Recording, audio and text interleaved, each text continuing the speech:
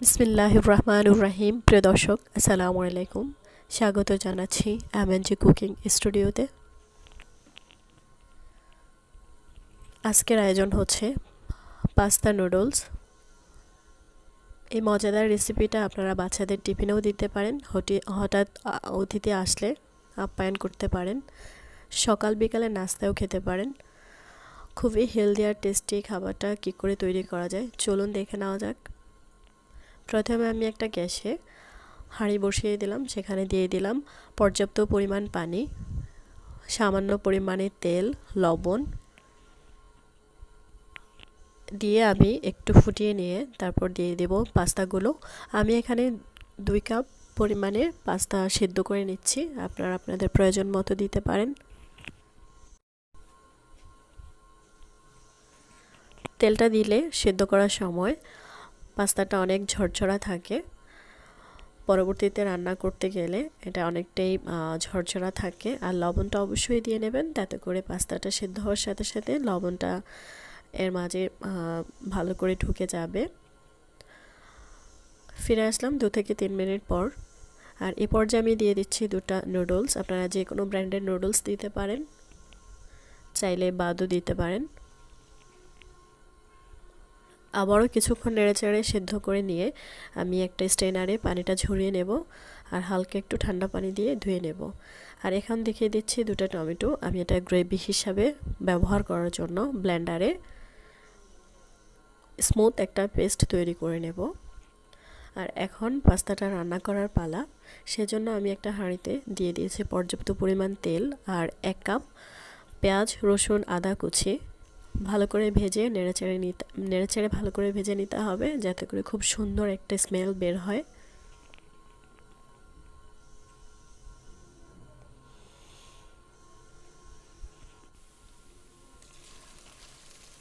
এ পর্যায়ে আমি দিয়ে দিচ্ছি চিকেন। আমি আজকে পাস্তা নুডলসের সাথে চিকেনটা ব্যবহার করছি। আপনারা চাইলে যে কোনো সবজি দিয়েও এটা রান্না করতে পারেন। চিকেনটা আমি নিয়েছি বোনলেস চিকেন আমি এখানে এক কাপের মতো ছোট ছোট কিউব করে কেটে নিয়েছি, আর এখন তিন থেকে চার মিনিটের মতো একটু নেড়ে ছেড়ে ভেজে নেব। আর অবশ্যই কিন্তু এ পর্যায়ে চুলার আঁচটা লো টু মিডিয়াম রাখতে হবে, যাতে করে এটা পুড়ে না যায়। কিছুটা সময় বেজে নেওয়ার পর একটু যখন একটু হালকা লালচে লালচে কালার আসবে, তারপরে দিয়ে দিচ্ছি আমি এখানে মশলা। মশলা হিসেবে আমি ইউজ করেছি জিরা আর ধনিয়া গোলমরিচ। তিনটা মিলিয়ে আমি এক টেবিল চামচের মতো দিলাম আর স্বাদ মতো দিয়ে দিলাম লবণ। লবণটা কিন্তু এ পর্যায়ে একটু কমে দিতে হবে। যেহেতু আমরা পাস্তাটা সিদ্ধ করার সময় লবণ দিয়েছি। আর প্রয়োজন হলে অবশ্যই চেক করে পরবর্তীতে দেওয়া যাবে। এ পর্যায়ে আমি দিয়ে দিচ্ছি টমেটোর পিউরি। এতে করে এটার খুব টেস্টও বাড়বে। প্লাস হচ্ছে এটার গ্রেভিটা অনেকটাই ঘন হবে। আমি এখানে সবজি হিসাবে গাজরটা দিচ্ছি। আর এটা দিচ্ছি আমি ব্ল্যান্ডারে একদম স্মুথলি একটা পেস্ট তৈরি করে এক কাপের মতো। এভাবে দিলে হবে কি, বাচ্চারা বুঝতেই পারবে না আপনারা এখানে, আপনি এখানে কোনো ধরনের সবজি ইউজ করেছেন কি না আর এটার ঝোলটা অনেকটা মাখা মাখা হবে, খেতে কিন্তু ভীষণ টেস্ট লাগবে। আর দিয়ে দিচ্ছি নুডলস আর পাস্তাগুলো। এখন খুবই আলতো হাতে সব কিছু ভালো করে মিক্সড করে নিতে হবে।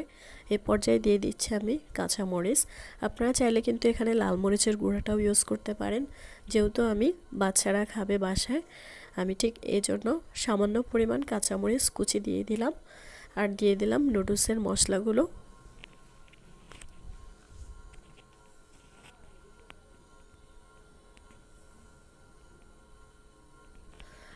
আমি দু প্যাকেট নুডলস ইউজ করেছি আর সেই সাথে মশলাগুলোও দিয়ে দিলাম এ পর্যায়ে। এখন একটু নেড়ে চেড়ে মিশিয়ে নেব। আর দিয়ে দিচ্ছি একটু সয়া সস আপনারা চাইলে এই জিনিসটা বাদ দিতে পারেন। যদি হাতের কাছে থাকে অবশ্যই দিবেন। চাইলে একটু টমেটো সসও দিতে পারেন। তবে আমি চেষ্টা করছি টোটালি খুবই হেলদিভাবে খাবারটা তৈরি করার জন্য। এ পর্যায়ে দিয়ে দিচ্ছি সামান্য পরিমাণ লেবুর রস। লেবুর রসটা দিলে কিন্তু খাবারটার টেস্ট অনেক গুণে বেড়ে যায় আর অনেকটাই ঝরঝরা থাকে।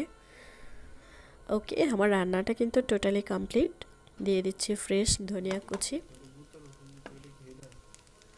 তো দর্শক, যদি ভালো লেগে থাকে সহজ রেসিপিটা অবশ্যই আমার চ্যানেলটি সাবস্ক্রাইব করার অনুরোধ রইল। যারা এখনও করেননি, যারা করেছেন তাদেরকে জানাচ্ছি অসংখ্য ধন্যবাদ।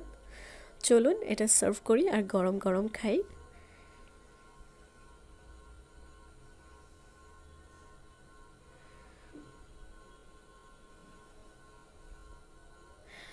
যদি কিছু বলার থাকলে, থাকে অবশ্যই কমেন্টস বক্সে লিখবেন। ভালো লাগলে অন্যদের সাথে শেয়ার করতে পারেন।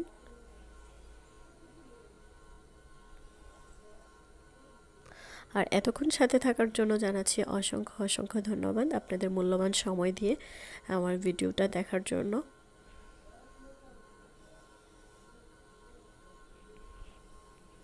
আল্লাহ হাফেজ। পরবর্তী রেসিপি দেখার জন্য আমন্ত্রণ রইল। আর পাশে থাকা বেলাইকনে ক্লিক করে নেবেন, যাতে করে আমার প্রত্যেকটা ভিডিওর আপডেট আপনাদের কাছে পৌঁছে যায়। আল্লাহ